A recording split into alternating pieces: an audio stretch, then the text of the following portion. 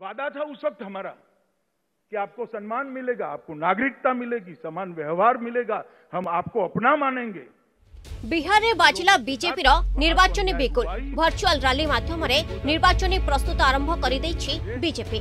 বিহারে আয়োজিত হয়ে যাইছে বিজেপির মেগা ডিজিটাল রালি বিহার বিধানসভা নির্বাচনকু আখি আগরে রখি বিজেপি এর না দিয়েছে বিহার জনসম্পাদ রালি এতে গৃহমন্ত্রী অমিত শাহ দিল্লি ভিডিও কনফরেন্সিং মাধ্যমে বিহারবাসী সম্বোধিত করে ରାଜ୍ୟରେ କୋଭିଡ ଯୋଦ୍ଧାମାନଙ୍କୁ ସମ୍ମାନ ଜଣାଇ ଶାହା ନିଜ ଭାଷଣ ଆରମ୍ଭ କରିଥିଲେ ଏଥିରେ ପ୍ରବାସୀ ଶ୍ରମିକଙ୍କୁ ଘରକୁ ଫେରାଇବା ପାଇଁ କେନ୍ଦ୍ର ନେଇଥିବା ପଦକ୍ଷେପ କଥା କହିଥିଲେ ଏଥିସହ ଗତ ଛଅ ବର୍ଷରେ ମୋଦି ସରକାରଙ୍କ ଉପଲବ୍ଧିକୁ ଗୋଟି ଗୋଟି କରି ଗଣାଇଥିଲେ ଅମିତ ଶାହା ଏହି ରାଲି ନିର୍ବାଚନ ପ୍ରଚାର ରାଲି ନୁହେଁ ବରଂ ଦେଶ ଲୋକଙ୍କୁ ଏକାଠି କରିବାର ଏକ ପ୍ରୟାସ ବୋଲି କହିଛନ୍ତି ଶାହା करोड़ रुपया मैं पूछना चाहता हूं वक्रद्रष्टा विपक्ष को आपने क्या किया है आपके समय में भी आपदाएं आई एक व्यक्ति बताए, जब बिहार के अंदर सत्तावन करोड़ रुपया सीधा बैंक के अकाउंट में पहुँचा है।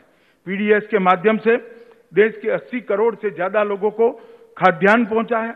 बिहार के अंदर लगभग 6000 करोड़ रुपए का अनाज भेजा गया।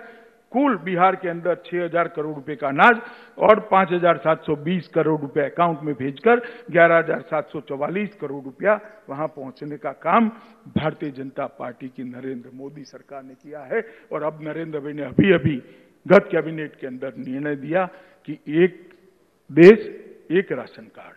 ଦୁଇଶହ ତେୟାଳିଶ ଆସନ ବିଶିଷ୍ଟ ବିହାର ବିଧାନସଭା ନିର୍ବାଚନ ଚଳିତ ବର୍ଷ ହେବାକୁ ଯାଉଛି। ନୀତିନ କୁମାରଙ୍କ ଜେଡିୟୁ ସହ ବିଜେପି ବିହାରରେ ମେଣ୍ଟ ସରକାରରେ ରହିଛି। ତେବେ ଆଗକୁ ନିର୍ବାଚନ ଥିବାରୁ ବିଜେପିର ଏହି ରାଲି ଏଥିପାଇଁ ଅଧିକ ଗୁରୁତ୍ୱ ବହନ କରୁଛି। ବିଜେପିର ଏହି ମେଗା ଭର୍ଚୁଆଲ ରାଲିର ପ୍ରସାରଣ ପାଇଁ ବିହାରର ବାସ୍ତରୀ ହଜାର ବୁଥରେ ଏଲ୍ଇଡି ଲଗାଯାଇ ବ୍ୟବସ୍ଥା କରାଯାଇଥିଲା। ପ୍ରାୟ ଦୁଇ ଲକ୍ଷ ଲୋକ ଗୃହମନ୍ତ୍ରୀ ଅମିତ ଶାହାଙ୍କ ଅଭିଭାଷଣ ଶୁଣିବା ପାଇଁ ବିଜେପି ପକ୍ଷରୁ ବ୍ୟାପକ ପ୍ରସ୍ତୁତି ହୋଇଥିଲା। ବିହାରର ପ୍ରତ୍ୟେକ ବିଧାନସଭା ନିର୍ବାଚନୀ କ୍ଷେତ୍ରର ତିନିରୁ ଚାରି ହଜାର ଲୋକଙ୍କ ନିକଟରେ ଏହି ଭର୍ଚୁଆଲ ରାଲି ମାଧ୍ୟମରେ ପହଞ୍ଚିବାର ପ୍ରୟାସ କରିଛି BJP bureau report the Argus